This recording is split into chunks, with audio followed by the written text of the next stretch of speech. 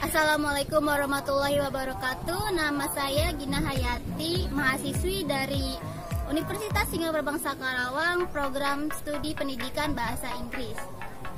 Saya perwakilan dari kelompok 2 untuk kali ini akan memaparkan tentang fotografi sebagai media pembelajaran. Gambar fotografi merupakan salah satu media pembelajaran yang sangat dikenal dalam setiap kegiatan pembelajaran.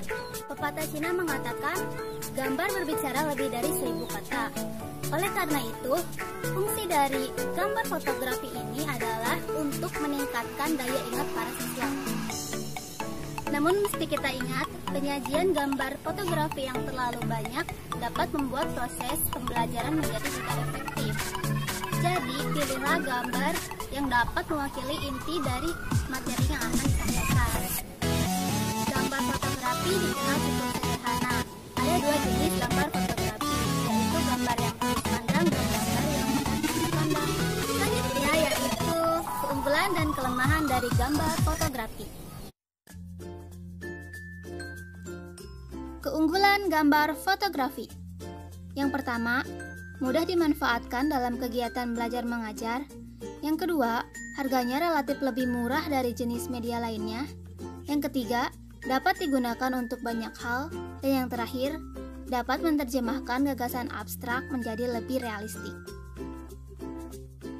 Selanjutnya yaitu kelemahan gambar fotografi.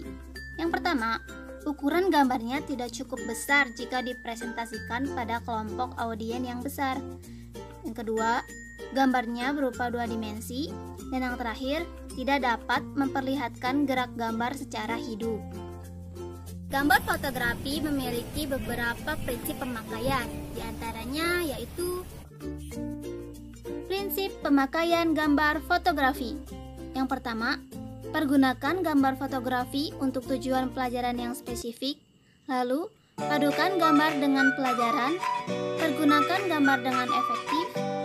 Kurangi penambahan kata pada gambar. Mendorong pernyataan kreatif dapat digunakan untuk mengevaluasi kemajuan kelas. Terima kasih dan mohon maaf bila